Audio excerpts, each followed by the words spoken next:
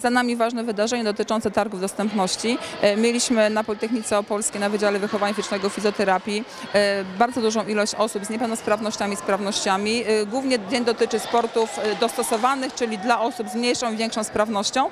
Było to około 400 osób, bardzo dużo studentów bierze udział w tym evencie, ponieważ pomagamy, wspieramy i zachęcamy do aktywności ruchowej. Stosowaliśmy sporty nasze tutaj w ramach przedmiotów adaptowana aktywność ruchowa, sport osób niepełnosprawnych do właśnie uczestników. Koszykówka na wózkach, amfootball. em, Mamy również chustę klanza dla dzieci, które są, mają mniejszą ruchomość.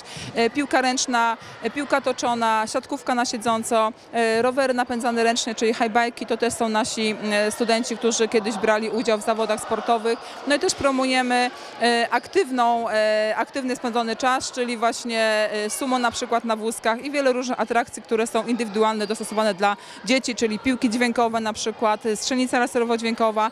No i największą popularnością cieszy się jak właśnie zwierzątko, czyli mamy też konika z hipoterapią. Już od m, pięciu lat, czyli od czasu wejścia w życie ustawy o zapewnieniu dostępności, odmieniamy tą dostępność przez wszystkie przypadki. I zresztą nieprzypadkowo ten tydzień dostępności ma pokazać, jak wiele barw ma e, dostępność. Jednym z nich jest właśnie dostępny sport i to, co dzieje się tutaj. No na pewno widać duże zainteresowanie.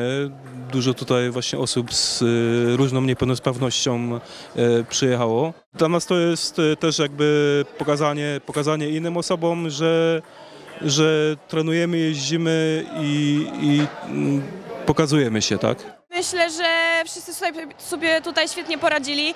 E, zrobiliśmy alternatywę też z dużą piłką, nie tylko taką małą piłką do ping-ponga, tak żeby e, nikt nie miał z tym żadnego problemu. Także myślę, że, że w tej sytuacji nic się tutaj akurat u nas nie wykluczyło.